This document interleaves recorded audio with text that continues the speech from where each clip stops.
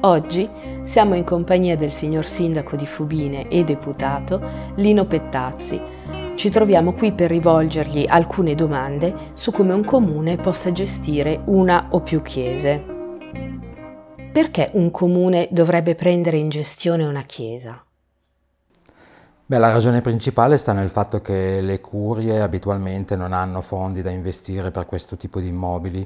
eh, pur essendo di loro proprietà eh, non ci sono appunto questi fondi, quindi è bene che se ne occupino le amministrazioni comunali dei territori, questo abbiamo fatto noi già a partire dal 2004, eh, quando la Curia di Casale eh, ci donò queste due chiese e una delle due eh, eravamo riusciti nell'arco di pochissimi anni a trasformarla in un bel teatro che ritengo essere uno dei più bei teatri del Monferrato.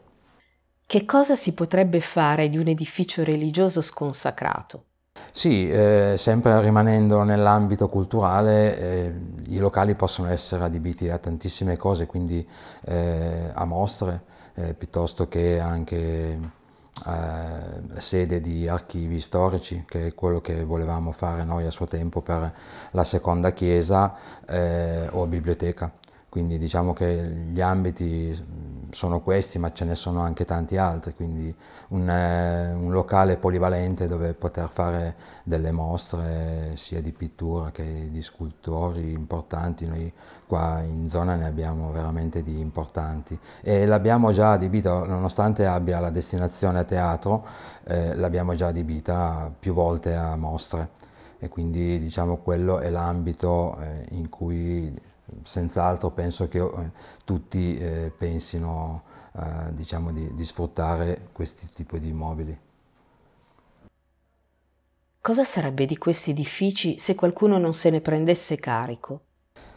Beh, noi ne abbiamo avuto la testimonianza riguardo alla seconda chiesa, quella della Trinità, che non avendo avuto manutenzione nel tempo eh, ha visto crollare il tetto e ha visto anche i muri diciamo, eh,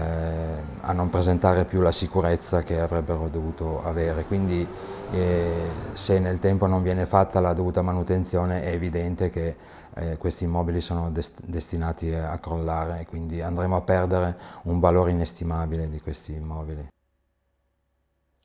Che cosa può fare un comune al fine di valorizzare il territorio dal punto di vista artistico e culturale?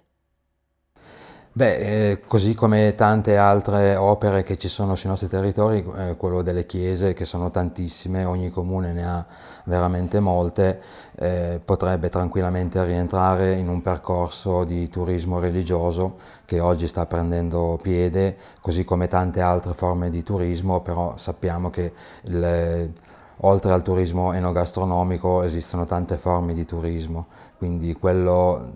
legato alla cultura a 360 gradi comprende sicuramente anche questi patrimoni bellissimi che abbiamo sui nostri territori.